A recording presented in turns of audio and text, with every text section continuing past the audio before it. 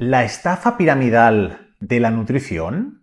Sí, sí, has leído bien el título de la miniatura de este vídeo de YouTube y es que es así, también le podemos llamar la pirámide de la desnutrición o bien la pirámide de la enfermedad. Y es que la pirámide de la nutrición que te han vendido y me han vendido a mí cuando estudié en la universidad la diplomatura de nutrición humana y dietética, consiste en repartir de forma piramidal, de forma triangular, de más cantidad a menos cantidad, diferentes grupos de alimentos, productos y comestibles para llevar a cabo un estilo de vida basado en una alimentación variada y equilibrada.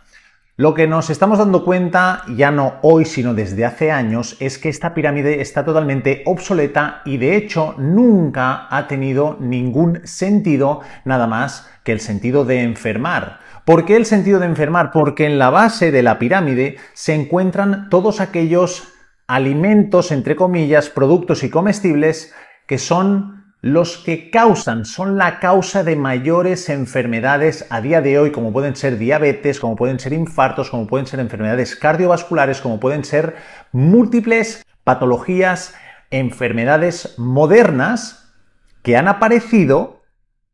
¿Por qué? Por consumir y por frecuentar el consumo de aquellos alimentos, productos y comestibles que no existían hasta cierto punto en nuestro día a día y que además hemos aumentado la cantidad como se conoce en un 55-60%, como son los carbohidratos.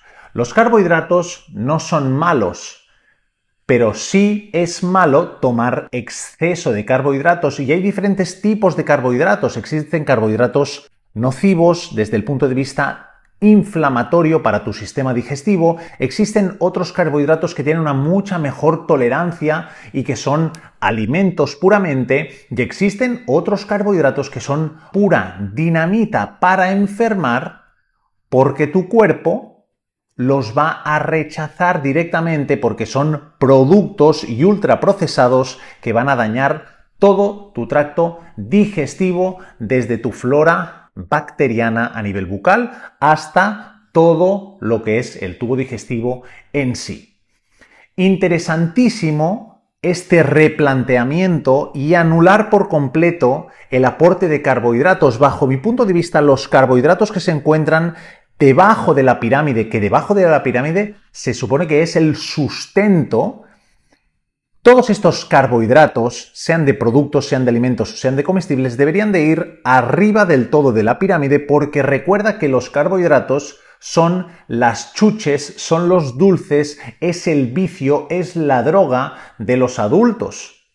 Y debajo de la pirámide tendría que haber todos aquellos alimentos, número uno, productos no y comestibles tampoco, como pueden ser las legumbres, todos aquellos alimentos que tengan una altísima densidad nutricional y que aporten todos aquellos elementos a nivel nutrición que tu cuerpo necesita, como son la proteína y las grasas y después lo que son los vegetales y la fruta. ¿Ok? Importantísimo este detalle. ¿Por qué? Ponte a pensar, ponte a reflexionar. ¿Cuánta cantidad tiene tu cuerpo de masa muscular? Estamos repletos de masa muscular desde la cabeza hasta los pies. Repletos. ¿Cuántos huesos tiene tu cuerpo? Estamos repletos de huesos desde la cabeza hasta los pies. Entre un sinfín de elementos que están en una gran cantidad. Ahora la pregunta es, la pregunta es, cuántos depósitos de hidratos de carbono tiene tu cuerpo en tu organismo. Que sepamos, a día de hoy tenemos dos, el glucógeno muscular y el glucógeno hepático. Y estos dos depósitos, por más músculo que haya, son limitados. Escucha bien, son limitados.